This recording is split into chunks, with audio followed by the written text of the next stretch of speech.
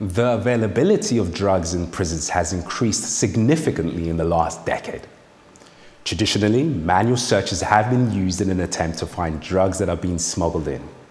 But now, body scanning technologies such as OD Security's Soter RS scanner is proving to have better detection rates. Harry Horton visited Wood County Justice Center in Ohio, USA, to find out what difference this is making. Ohio finds itself at the center of America's opioid drug crisis. Last year, more than 4,000 people died from opioid overdoses in the Midwestern states. And the impact of what President Trump has called a national emergency has been far reaching, including behind bars. Jails have become the detox facilities instead of hospitals. So we're getting people that uh, have opioids in their system, they're addicted, and certainly they're going to do whatever it takes to try to get some of that uh, some of that heroin or opiates into our facility. The problem of opioids and drug smuggling in prisons is getting worse, especially in Ohio. Here at Wood County Justice Center, they've been using state-of-the-art body scanners for the past year to try and tackle the crisis.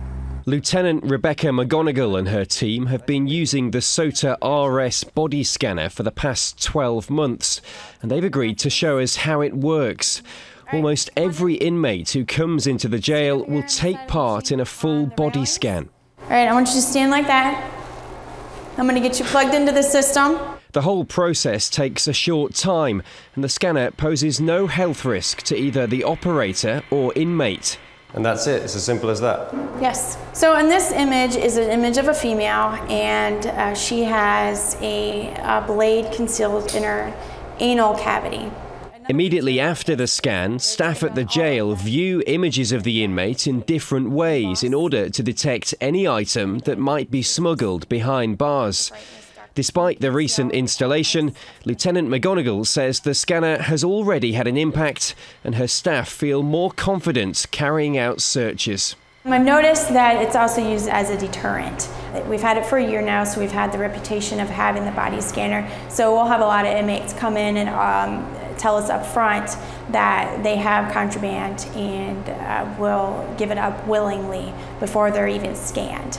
The flexibility of the scanner means it can be tailored to tackle the unique problems facing a particular region. We can offer a jail environment, a specific setting that we know would detect all the contraband, um, potential contraband risks that they typically find in a jail. Jails like the one here in Wood County see a high turnover of inmates, which can make it harder to keep out drugs.